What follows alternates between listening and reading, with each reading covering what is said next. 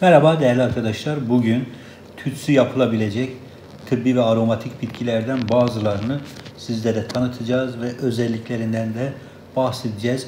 Özellikle kurutulduktan sonra yakılarak tütsü halinde kullanılan şifalı tıbbi ve aromatik e, bitkilerin ortama sağladığı e, koku ve yine aroma birçok şifalı etki sağlıyor. İşte bunların başlıcaları videomuzun devamında.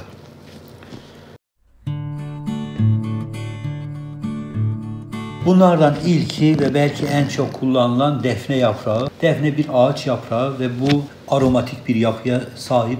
Özellikle e, kullanımı çok yaygın. Bulunduğu ortamda yakıldığında astım, depresyona iyi gelir ve yine ortamdaki havasal mikropları kırdığı biliniyor.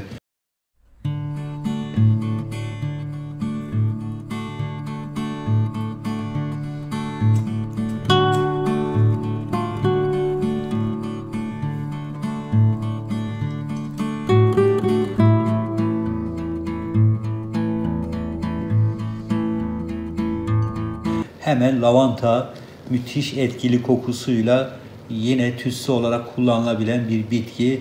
Uykusuzluğa, strese ve migrene iyi gelir lavanta tütsüsü.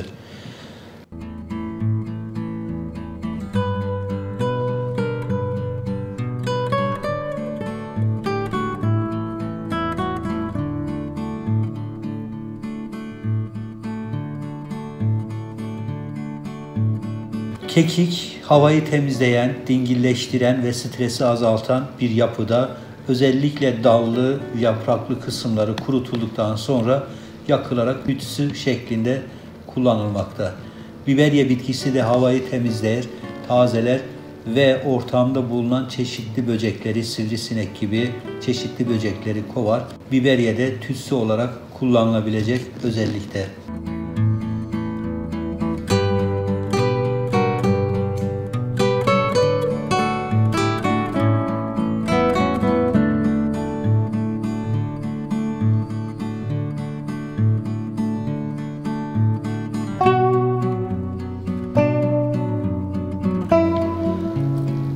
Belki de kokusu en güzel olan otlardan biri ada çayı. Ada çayı da tütsü olarak kullanıldığında sinirlere iyi gelir, odaklanmayı arttırır ve hafızayı dengeler.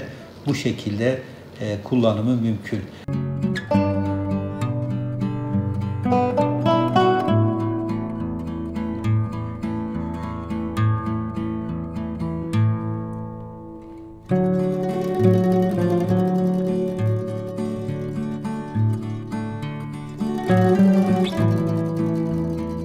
Evet değerli arkadaşlar, e, rahatlıkla bulabileceğiniz birkaç tane tıbbi ve aromatik bitkinin tütsü olarak kullanıldığında faydalarını ve özelliklerini sizlerle paylaşmaya çalıştık. Hepinizi saygı ve sevgiyle selamlıyoruz.